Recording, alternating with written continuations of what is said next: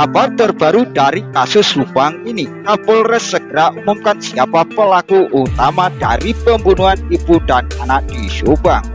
Namun sebelum melanjut jangan lupa subscribe di channel ini agar kalian tak ketinggalan berita terbaru. Jika sudah mari kita lanjut ke videonya. Diketahui kemungkinan tidak lama lagi pengungkapan kasus pembunuhan di Subang akan segera diumumkan oleh pihak Kapolres yang diketahui kejadian ini menggegerkan masyarakat. Sementara itu Presiden ATS Lovrim Ahmad Taufan mengemukakan sambil menunggu pihak kepolisian mengumumkan siapa pelaku pembunuhan di Subang yang pihaknya terus mencari fakta-fakta kebenaran dari soal Yoris dan Anu. Karena saya dengar tidak lama lagi Kapolres akan segera mengumumkan siapa pelakunya.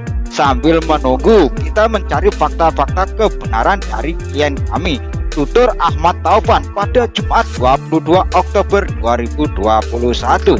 Sementara itu, tim kuasa hukum Yoris dan Anu yakni dari ATS Law setelah melakukan wawancara dengan seluruh keluarga korban, semua tim kemudian melanjutkan investigasi tim ATS Lawfrim yang dipimpin langsung Ahmad Taufan kemudian ziarah ke makam para korban bersama Yoris dan Anu. Mereka melakukan doa bersama.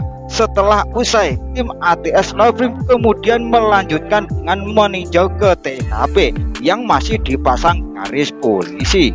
Sementara itu, Ahmad Taufan mengakui bahwa pendampingan timnya kepada Yoris dan Danu dalam kasus di Subang dilakukan secara sukarela atau gratis. Menurut Ahmad Taufan, kantor ATS Lavrim sudah berdiri sejak 2015 lalu dan sudah banyak menangani berbagai perkara hukum. Sudah banyak menangani perkara-perkara, tetapi jiwa kami dan kebetulan di kantor kebanyakan anak-anak muda paparnya. Ahmad Taufan menambahkan bahwa sebelumnya pihaknya memang banyak memberikan bantuan hukum secara gratis. Sebetulnya gratis itu biasa bagi kami, ujar Ahmad Taufan. Terima kasih telah menonton videonya. Jangan lupa subscribe, like, dan komen. Sampai jumpa di video selanjutnya.